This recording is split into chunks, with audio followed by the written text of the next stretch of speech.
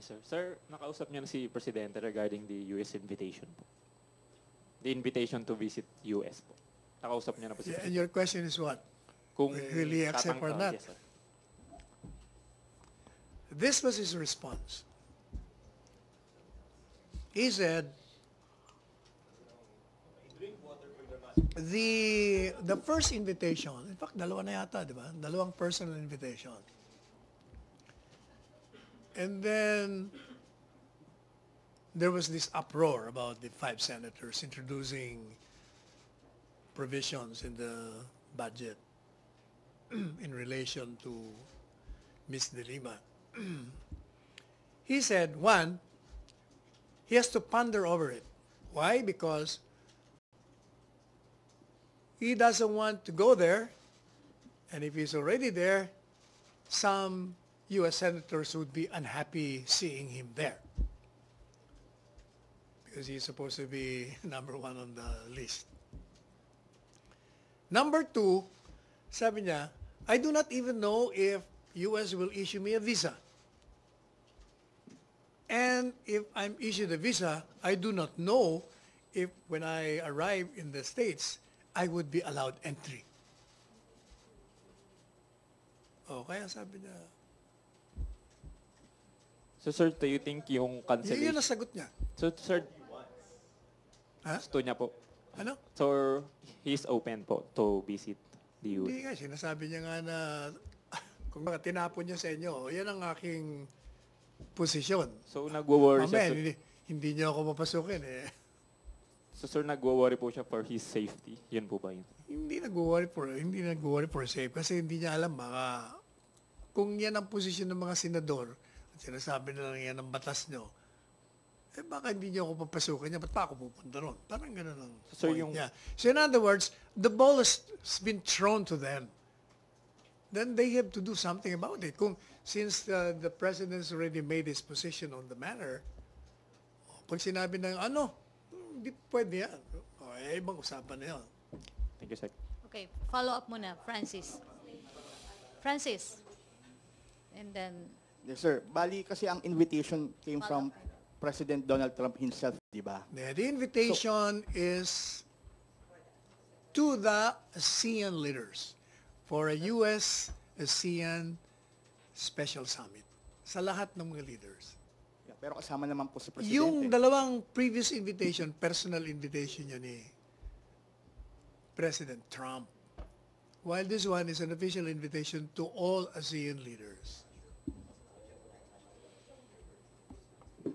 Sir, what if kung lahat ng ASEAN leaders nagpunta doon, tapos si Presidente lang di pumunta, hindi ba parang pangit naman sa imahe ng, ng Pilipinas kung hindi siya pupunta? Hindi, that is assuming na hindi siya pupunta. Hindi ba sinabi niya na nga ang posisyon niya?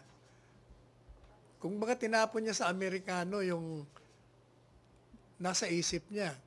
Una, ayaw ko maging unhappy yung mga senador niyo. Pangalawa, hindi ko nga alam kung papapasukin niya ako hindi eh. Kasi meron kayo sinasabi niyong batas. Okay. Ah, Ace? Pero hindi ba parang change of stance or tone to? Kasi previously, Change to what? change of stance or tone. Kasi previously, the president will say, no, hindi ako pupuntain ngayon. Nagpapander na po siya. Kasi nga personal yung imbitasyon sa kanya ni Trump. Personal lang eh. Eh, ito iba eh. It's an official invitation to all ASEAN leaders and there is a special summit. And Although we, last time, hindi rin naman siya nag-qualify na ganyan. Dati, talagang hindi, hindi, kaya ako nga sinasabi. Sin, nagkakwalip, sinasabi niya na nga yun. Dati, ano yun, mga personal invitation lang. This one is ibang invitation to. But ang problema nga, eh, because of that, I don't want to see these senators seeing me and being unhappy, me being there. And at the same time, don't even know if they will allow me or not. One, will they give me a visa? Number two, kasi wala siyang visa. eh.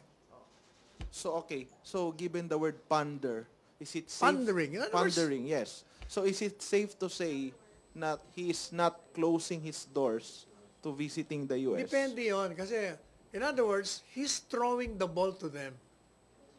Anong anong tingnan ko anong reaction niyo. O pag sinabi na no, you are we're giving you a visa, we'll allow you entry including all your delegations. O eh di pag bumalik sa kanya, then I will ask him, oh, oh Mr. President, ano na tayo? So yun na yun. Okay. Salamat, Sec. Atina, Celerina, and then Julie. So sir, if the conditions are met na nabigyan siya ng visa and Wala naman siyang impose na condition ha. He just expressed certain sentiments relative to some issues that may affect his entry. also sir, based on your explanation, so yung interest of the ASEAN and the role of the Philippines dun prevails upon the President's personal uh, views against the U.S. No. From what I look at his responses, gusto niya pumunta. Yan ang, yan ang nasa isip ko. But, paano ako pupunta?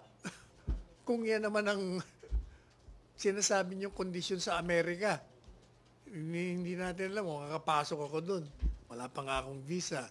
O, di ba? So we words, want, we want uh, the He- he- President wants an in other words, throwing, exactly nga, pinapabayaan niya namin mag-US government, di mag-decide kayo, ano, you're still inviting me or not? So, an assurance from the U.S. government. Kasi on a personal level, he doesn't want to go there for for the reasons he has already stated. One, he cannot stand the weather, the temperature. Di ba? Basta ka, it's a long trip. Basta long haul, ayaw niya. eh. Okay. Celerina, and then Julie. Sir, sundutin ko lang yung sinabi ni Tina. So, the President wants a categorical assurance from the U.S. No, he, he didn't say that. Basta yun, yun, ang, yun ang usapan namin at kinukote ko siya exactly yung nasalita niya.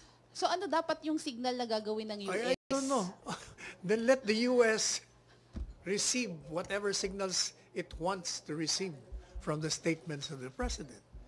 So, if the President won't push through with the trip, it means that the U.S. did not give any good signal to the I President. don't know. Eh, Mag-speculate na lang tayo. Basta, yan ang posisyon ng Presidente. Okay, uh, Julie. Sir, sundot ulit. Ano na? sundot ulit, sir. Ano na? Sir, so you're so what are what we are saying is that the president might consider accepting the invitation if the US in good faith gives him a visa and allow, allows him entry. Hindi ko alam. Sir. I don't know. We have to we have to respond or rather we have to wait for the response of the US doon sa mga sinabi ni Presidente. I'm sure makakarating naman yun. Ngayon, dahil sinasabi ko na, di ba? Minomonitor naman tayo ng lahat ng embassy. O, di syempre sabihin, ah, ganito. Pero sir, di ba, since it's an official invitation for uh, the U- ASEAN-US Summit na ini-invite siya, di ba automatic naman na, oh, bibigyan ka ng visa, i-allow ka entry, di ba, ano yun? Head of state siya eh. Alam ka Normally, yes. siya. But, these these are not normal times with respect to this case of Miss Dilima kasi ipinasok nga siya doon eh. Di ba? Kaya hindi normal ang sitwasyon. But did you also say na yung ang the rider on the Lima, on, regarding the Lima, yung sa US budget, di ba sabi niyo before na it's it's upon the prerogative of the executive, which President Exactly. Trump Kung controls. prerogative ng executive, hindi mo alam kung anong gagawin ng executive. Wala pa naman silang, first, wala silang listahan. So, hindi mo alam kung they will. Okay. Hindi, ah, wala. Malabo pa nga lahat eh. It's all, even Dilima herself is saying, oh, if they're allowed there, kasi hindi pa naman nag-ooperate yung batas. Oh, di Can ba? we say, sir, that President Duterte is worried about that rider? President, the President is never worried about anything except the sufferance of the Filipino people Okay, sir. and the interest. O, la- last question. Follow up yan. O, last two on US-ASEAN. Arian and then Joseph. So, sir, um, kailangan, sir, ma-persuade si President Duterte. Hindi. Antayin natin kung ano yung response ng Amerikano doon sa mga sinabi niya. Did you communicate to the U.S. Hindi yung na mga kailangan. sentiments As na I yan said, formally? all embassies I discovered coming from them, they're all monitoring pala all these press conferences. Okay, sir. May, so meron, alam na nila kung anong posisyon kasi sinabi ko na ngayon. okay, sir. Meron Kasi ba he's kayong, supposed to say that during the tete-a-tete and overrun eh. Di, I'm compelled to share it to you. pero sir, given na may mga ah, na-cancel yung visa, for example, ni U.S. Senator Bato, Pero hindi natin alam kung ang in relation to what yun eh. ayun nga, sir, tutuloy pa rin po ba si PRD if ever? Hindi ko alam. Uh, uh, Hindi Mag-i-speculate po yun, tayo. ano, kino-consider. Hindi yun factor. Let's just wait for the response Okay, sir. of the U.S. Okay. government. Last on US ASEAN, Yusef. Sir, categorical question. Does he or does he would he not want to go to the US? I do not know. Okay. Other issue, Why? Pero, sige, I don't, Joseph? I do not know yung sagot natin, sir. You Pero sabi niyo kanina, I mean, parang you gusto ask me niya. personally, I do no, not no, no, know. because you talked to him. Oh, eh, but you, eh, Yun yun is ang sabi niya eh. Hindi ko mabasa kung anong ibig sabihin. But you said earlier na parang feeling niya gusto niya pumunta. It's one, uh, the 1, 1 p.m. mark. Ano, clarify lang, sir. Parang ano ba Yung gusto mga ba niya? nanonood, ang daming komentaryo sa inyo. Like the president, we do not accept. Charot. Sir, hindi. Does he or does he would not Yeah, want I to go? don't, hindi, hindi. Basta yun ang kanyang sagot. Okay. Okay. Last, US, uh, other, uh, follow-up muna, um, Vance Fernandez. Pabot ang microphone. Sir, in short, takot po ba ang presidente pumasok sa teritoryo ng US? Hindi nga natatakot tong mamang to. Well, di ba sabi ko siya, walang kinakatakutan to.